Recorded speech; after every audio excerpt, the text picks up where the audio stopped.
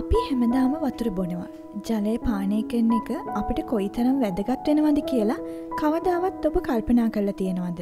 මිනිස් සිරුරේ සීට පණහත් හැත්තෑවත් ජල ප්‍රමාණයක් අඩංගු වෙනවා. වඩා හොඳ ක්‍රියාකාරීත්වයක් සඳහා නියමිත වෙලාවට නියමිත ජල පරිමාවක් අපේ ශරීරයේ බලාපොරොත්තු වෙනවා. කුමන වෙලාවේ කොහොමද ජලය පානය කරන්න ඕනෙ කියලා ඔබ දන්නවද. නිවැරදි වෙලාවට නිවැරදි ආකාරයෙන් ජලය පානය කළහොත් ඔබේ ශරීරයේ කාර්යක්ෂමතාවය වැඩිවී බොහෝ වාසි ඔබට අත්වෙනවා. ඔබ උදෑසන අවදි වූ විට ජලය පානය කරන්න. මුළු රාත්‍රී කාලයේම ඔබේ ශරීරය සිරුරේ තිබූ වතුර ප්‍රයෝජනයට ගෙන ඇති නිසා උදේ අවදි වන විට ඔබේ ශරීරයේ ජලය සෑහෙන මට්ටමකට අඩු වෙලා තියෙන්න පුළුවන්. ඒ හේතුව හින්දම රාත්‍රී නින්දට යාමට කලින් වගේම උදෑසන අවදි වූ විගසම කිසිදු ආහාරයක් ගන්න නැතුව මුලින්ම වතුර වීදුරුවක් පානය කරන්න.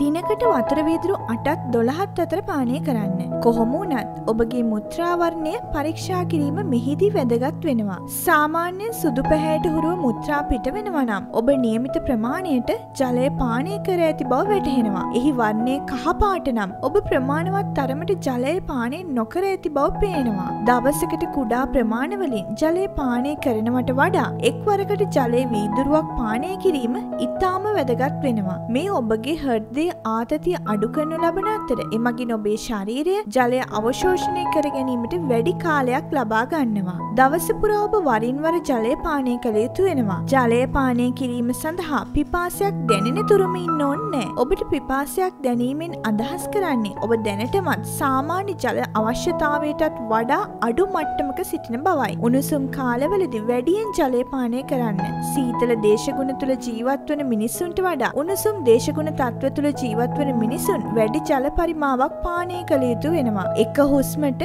විශාල වතුර ප්‍රමාණයක් බොන්න එපා. ඔබ සෑහීමකට පත්වන විට ජලය පානය කිරීම නැවැත්විය යුතුයි. ඔබගේ ව්‍යායම් කටයුතුවලින් පසුව වැඩි ප්‍රමාණයක් ජලය පානය කරන්න. ඒ වගේම කාමර උෂ්ණත්වයේ පවතින ජලය පානය කරන්න. අයිස් වතුර බොන්න හුරු එන්න එපා. ඔබ අසනීප තත්ත්වයෙන් සිටින විට වෙනදාට වඩා ජලය පානය කරන්න.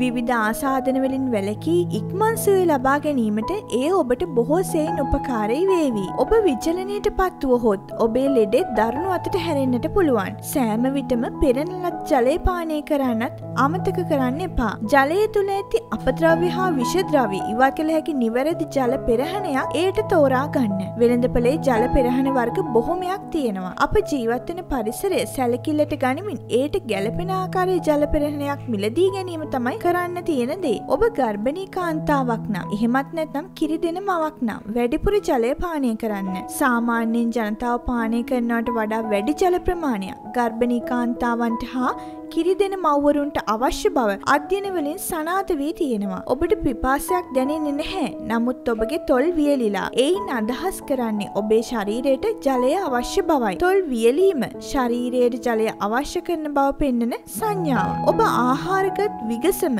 ජලය පානය නොකරන්න. මේ ඔබගේ ආහාර ජීර්ණ ක්‍රියාවලිය සඳහා අවශ්‍ය ශක්තිය විනාශ කරනවා. වාතරෝග සහ ආම්ලික ගැටලු ඇති කිරීමටද මූලික හේතුවක් වෙනවා. මලබද්ධිය ඇති පුද්ගලයින් වැඩිපුර ජලය පානය කළ යුතු වෙනවා. ආයුරේදේ සඳහන් වන පරිදි හිටගෙන ජලය පානය කරනවට වඩා සුදුසු වන්නේ හිඳගෙන ජලය පානය කිරීමයි. ඔබ ඖෂධ ලබා ගන්නා විට ඒවා ජලය සමග ලබා ගන්න. සිසිල් බීම හෝ යුෂ වර්ග සමග ඖෂධ වර්ග පානය නොකරන්න. ඖෂධ ශරීරයේ පුරාම ව්‍යාප්ත කිරීමට ජලය උපකාරි වන නිසා සෑම විටම ඖෂධ ලබාගන්නා විට ජලය සමගම ලබාගන්න වග බලාගන්න.